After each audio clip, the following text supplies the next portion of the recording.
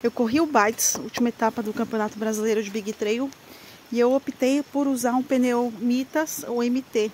Eu não lembro exatamente o nome dele. Mas ele é 60-40. 60 asfalto, 40 terra. Meu, eu andei muito bem e o campeonato não é fácil. Aí eu tirei o 100% on-road e coloquei esse. Cara, o pneuzinho foi sensacional na terra. E agora, no asfalto, Andei no asfalto com chuva. Tô andando nesse paralelepípedo cheio de, de folha. Tem uns galhos maiores, ó. Esses galhos ajudam a escorregar. Aqui é o Carlos Botelho. E você não percebe, mas ele tem um lodo. Tem vários pedaços que ele tem um lodo. Acho que é onde passa menos carro, alguma coisa assim. E eu, mais no meio, no centro, não dá pra ver direito.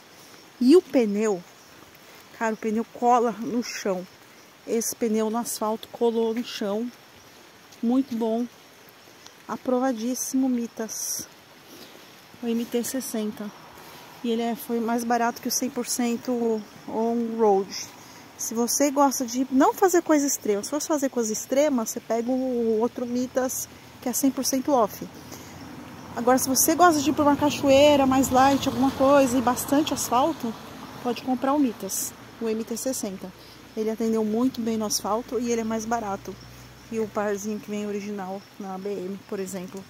Aprovadíssimo Mitas, viu? Top. E bem mais barato, gostei.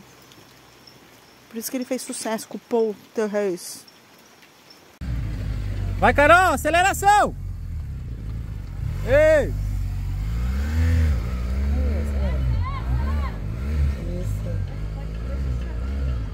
Ela tem equilíbrio bom, ó. Nossa, Ou ela fazer o troco, já, já tinha